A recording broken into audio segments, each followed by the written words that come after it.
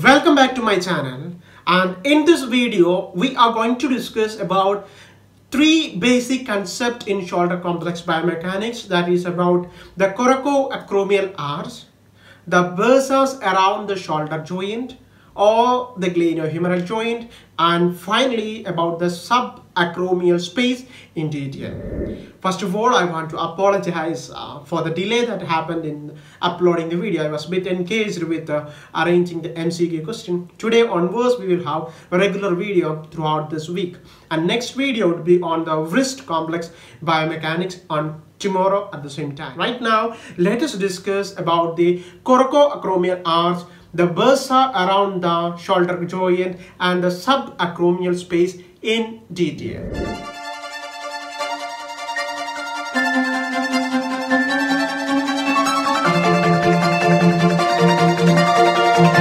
Uh, the word, the coracoacromial arch, as I told you always, try to find out the explanation of the words so in biomechanics and anatomy when you are learning. So when you are when we discuss the term coracoacromial arch, we have few, few terms over here. One is the coracoid. So it would have the coracoid process, right? The coracoid process. The next term we hear is the acromion. Yes, it has the acromion process. Yes, uh, the acromion process then coracoacromial, there is a ligament known as a coracoacromial ligament. Coracoacromial ligament and there is a joint in the acromion process which is formed by the clavicle which is the acromioclavicular joint. Acromioclavicular joint. So these are the few terms that you need to remember to understand this concept of coracoacromial arch. So it involves, it's a structure formed by the coracoid process, the acromion process, not the entire acromion process, of course the under surface of acromion process, under surface of acromion process, then the coracoacromial ligament, coracoacromial ligament and the in, inner aspect of inferior aspect of the acromioclavicular. So when we look at this term, we see that uh, here we have a bone over here, here is the bone, here is the bone, but this is not a bone, it's a ligament. So we call this coracoacromial arch by a term osteoligamentous. Okay, so the coracoacromial arch is an osteoligamentous arch which is formed by the coracoid process, the acromion process, of course the under surface of the acromion process, the coracoacromial ligament, the acromioclavicular joint inner surface, so this is a osteoligamentous vault. We call it like a vault. Vault means a covering. Or you can simply tell it is an osteoligamentous arch which is formed by the coracoid process, acromion, coracoacromion and acromion. Why osteoligamentous means because it contains both the bone as well as the ligaments. But why do we need a structure like that? Why do we need a coracoacromial arch? And where is it exactly located? You know this is the coracoid process, right? This is the acromion process. So coracoid process, acromion process. Coracoacromial ligament and acromioclavicular joint.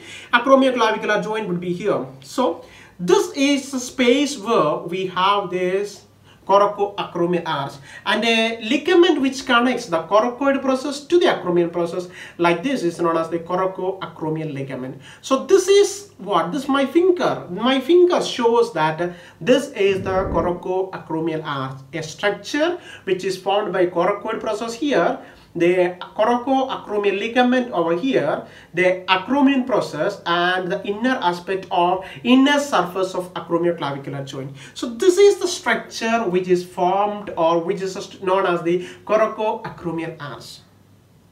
Right? Now, Im imagine the situation, this arch is not here Okay, actually why do we need an arch? Because this arch is not going to increase the stability of uh, which one? The clavic scapula because it's just attaching scapula to the scapula, different parts of the scapula. So it's not going to increase the stability. Then why do we need the arch? For example, when you carry some load in your shoulder, for example, you are cleaning your room and you need to rearrange your bookshelf. So you carry some of your books in your shoulder. You just imagine a situation over here. If there is no arch at this place, okay? If there is no arch over this place, through the uh, the space that is below the coracoacromial arch we have structures like uh, the supraspinatus or the rotator cuff muscle tendons. We have a bursa known as subacromial bursa. We have the long head of biceps brachii. So when you're carrying some load for example this is a load you're carrying a load and this arch is not so what happens? When you carry a load it can get impacted on the very delicate tendons and bursas at that region. So it may produce tendinitis or bursitis or other associated problems.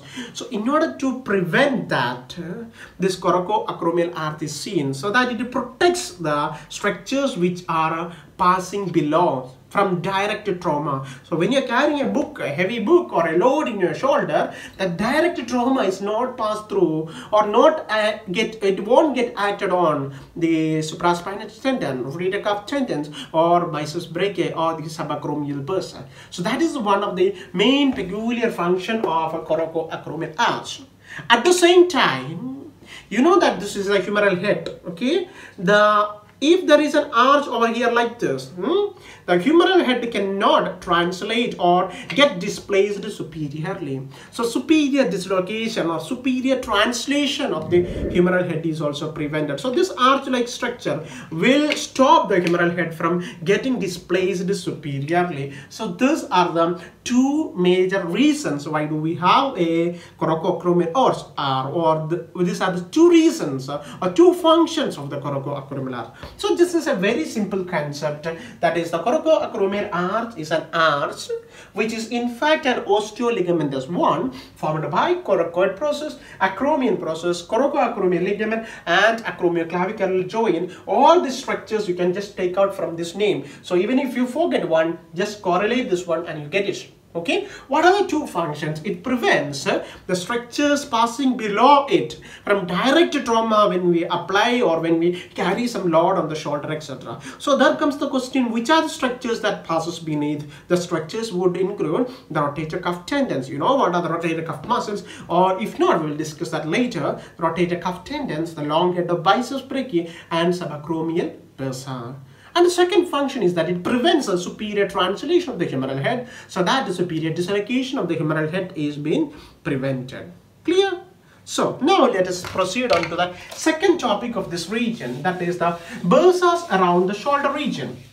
In fact, you know what is bursa, you know what is the function of the bursa, and there are a lot of uh, ligaments, there are lot, a lot of bony connections, there are a lot of functions and mobility that is happening in the shoulder region. So there are a lot of bursas in shoulder regions, but of course we need to just specify on two bursa in shoulder region, which include subacromial bursa. What is that? The subacromial bursa and second one is known as subdeltoid bursa subdeltoid bursa something that i missed to uh, inform or just uh, something that i missed off when i discussed about when we discussed about the coracoacromial arch is that the space that is seen just below the coracoacromial arch and the humeral head is known as the subacromial space of course, when we studied, when we learned, when we explored this chapter, shoulder complex at first, we considered subacromial space as a joint itself. So some studies do take it as a joint, but for our convenience,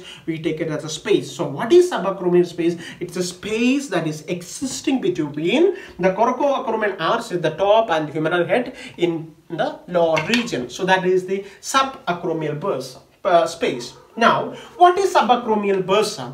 Subacromial bursa is the bursa that exists in the subacromial space and subdeltoid bursa is seen just below the deltoid muscle. Of course, these are two separate bursas. This is one and this is two. But what happens is that usually both of them are seen associated with each other. And we call together them as the subacromial bursa itself. Subacromial bursa. What is that? The subacromial bursa and subdeltoid bursa are in fact two entities, but sometimes or mostly they are seen associated with each other where we call them as subacromial bursa itself. So we have the acromion process over here and we have a coracoid process over here, right? And then we have the, uh, what is that, coracoacromial arch over here, right? And this is the other structures. And of course here we have the humeral head. Here we have the humeral head glenoid fossa etc now there is the deltoid muscle which is seen over here. Immediately below that muscle you have the bursa known as subdeltoid bursa. In the subacromial space you have the subacromial bursa so what happens is that usually these two bursas are seen associated with each other, continuous with each other, and we call them together as a subacromial bursa. Something that you should note that in normal routine examinations or normal cases, these bursas are very um, minimal in size because they contains very little amount of fluid between them. But when there is an inflammation of the tendons or ligaments or associated structures at that region, what happens is that this bursa gets inflamed and get enlarged. So subacromial bursa may be uh, visible very clearly in routine examinations when there is some sort of inflammation to subacromial space or the supraspinatus tendon or the rotator cuff tendons, etc. So normally these bursas are seen continuous with each other and we call them together as a subacromial bursa and they are very minimal, small fluid spills faces of the fascia itself but when there is some sort of inflammation, those bursas get inflamed and they get enlarged in size and they become clinically relevant, right? So one of the muscle that gets almost time impinged with the coracoacromial arch is the supraspinatus muscle and of course supraspinatus tendonitis can result in subacromial bursitis or subacromial bursa expansion in normal cases. Of course, the other rotator cuff muscles also can produce the same consideration. Now, from this subacromial space, we move on to bursa, we move on to subacromial space.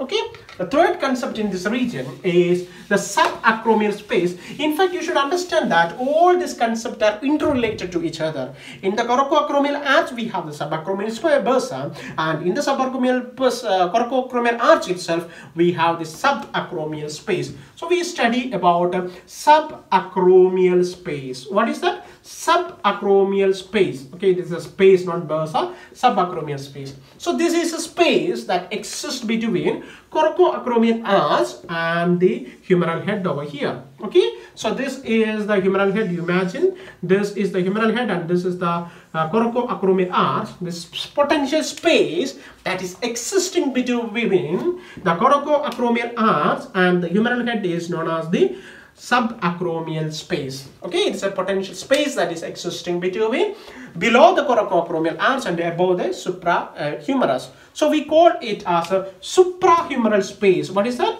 We can call it as the suprahumeral space. Okay, we call it as a suprahumeral space. In fact, some studies, as I told you earlier, consider this even as a functional joint like a scapulothoracic joint, but we consider here it as a space itself, subacromial space or suprahumeral space. Why suprahumeral? Because it's above the humerus itself, right? Yes. And now, um, when the arm is at side, that is this adducted position, we examine, when we examine, okay, when we examine, we find out that uh, the subacromial space is about 10 millimeter in size, okay. When arm gets elevated, it decreases to 5 millimeter. So when the arm is at side adducted 0 degree, we have the maximum space of a 10 degree.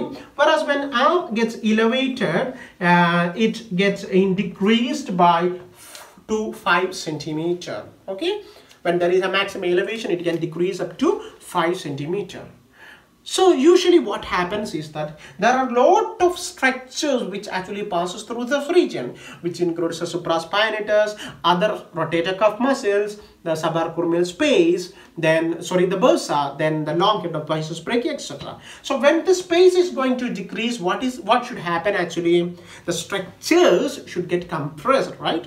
So we have a potential space like this. When arm is elevated, the space is getting decreased like this. So this should compress the contents which are passing through that region, right? They should compress the contents that are passing through that region. But now, latest study shows that uh, even though the space gets decreased by uh, 5 millimeter when arm is getting elevated, the maximum impingement, what do you call by impingement? The contents of this region can get compressed between the coracoacromial arch, the bony prominence over there. That contact is known as the impingement. Okay, that impingement occur mostly in the initial ranges of abduction, initial ranges of flexion or initial ranges of elevation. Why?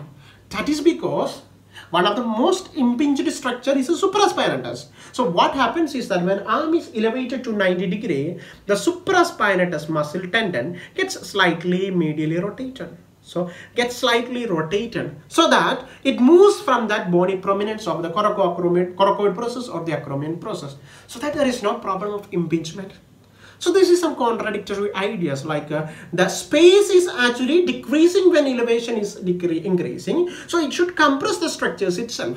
But we see that uh, the impact on that structure or the impingement of that structure can occur even at the early stages I don't say that it cannot occur at the 90 degree, but it can occur at the early stages. Why? That is because at a particular range, for example, 90 degree of elevation, the supraspinatus muscle gets just immediately rotated. So that what happens is that no longer rest in between the bony prominence. So if it is not between the bony prominence, can it cause impingement? Of course, no. So that is the change that is happening when uh, subacromial space increases and decreases. So what is subacromial space or suprahumeral space? It's a space that exists between, what is that? The coracoacromial arch and the humerus, head of the humerus. This is a potential space and the space is known as also known as suprahumeral space. And the space contains components like uh, what is that? The tendons of the rotator cuff muscles, the bursa of the muscles,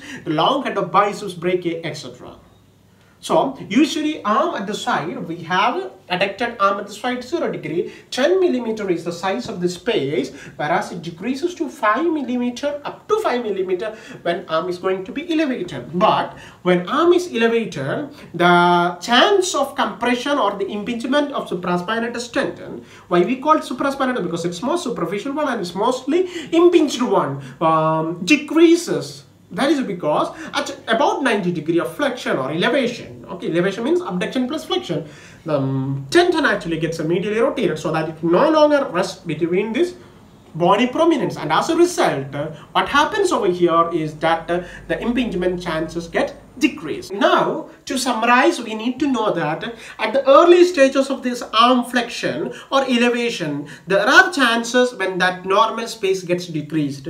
Can you tell me what would be the reasons uh, why that normal space is going to decrease? Because you know that the space is actually dependent on lot of substance, lot of components over this here, lot of bones over here. So if there is any slight abnormalities, for example, change in orientation of this coracoid process, acromion process, the glenoid fossa orientation changes, if there is a excessively large humeral head, if there is this coracoacromial ligament is very heavy or is larger, if there is some bone spurs in between the acromion process or acromioclavicular osteophytes are developed any of the things or there is changes in the orientation or rotation of the scapula all these structures can decrease ultimately this coracoacromial space. So in normal range the coracoacromial space can decrease due to various factors which includes the changes in the coracoid process acromion process the orientation of the glenoid fossa changes the acromioclavicular osteophytes the abnormally large humeral head or change in orientation of the scapula, decrease in rotation of the scapula, various other factors or coracoacromial ligaments becomes uh, larger or there is bursitis, subacromial bursa or subdeltoids bursa. So all this time, at the, all these cases, the space can decrease. So what happens if the space decrease? All that structure will get impinged in the arm movement. So it can cause a lot amount of pain when we do the arm movement. Repeated, repeated, repeated injury or inflammation can result in bursitis, uh, degeneration of the tendons of the rotator cuff, and ultimately muscle weakness and muscle wasteness or even muscular atrophy in that region. So that all uh, been uh, dealt with the term known as impingement syndrome okay which is beyond the scope of our discussion right now. When we are doing the clinicals we might uh, discuss that in the future. So just remember that the subacromial space or suprahumeral space can decrease even in the normal persons. So if that decrease is less than the 5 centimeter 5 millimeter due to various reasons it can cause the impingement of the structures. And when the impingement of the structures incongruous it can result in pain decreased range of motion muscle guarding uh, spasm bursitis, etc. And ultimately, it may lead on to atrophy of the muscle, weakness of the muscle, muscular wasting, increased fibrosis of the muscles, etc. So what is the nutshell of this discussion? The nutshell of this discussion is that to protect our delicate structures which are seen in this region, we have a coracoacromial arch. That is actually a positive one doing a positive function over there function of protection, function of preventing superior humeral translation. And there are a lot of bursas, namely subacromial bursa, subdeltoid bursa, which are functioning to reduce the friction between all these tendons because you have supraspinatus, you have subscapularis, you have infraspinatus, teres major, biceps brachii, etc. Different tendons, different bones. So to prevent that uh, uh, friction between them, we have bursas. Normally that bursas are silent, but in clinical conditions in which there is an inflammation, they may become enlarged. And this potential space, which is uh, seen below the arch, is known as subacromial space or suprahumeral space, which function to allow the substance to pass through them, different structures to pass through them. But there are some scenarios in which the space can decrease and can they, they can precipitate problems more than advantages. So the arch which was advantage become a problem when uh, we have the space decrease, we have increased pain, we have difficulty in doing the normal range of motion, muscular wasting, etc okay i hope that is clear. So in the next video in shoulder complex we have the function in the shoulder complex glenohumeral joint flexion extension adduction internal and external rotation as well as an awaited one known as the intra-articular motion. How osteo and arthrokinematics are going to help in the glenohumeral joint until then stay tuned and if you like the video don't forget to click the like button and kindly subscribe to our channel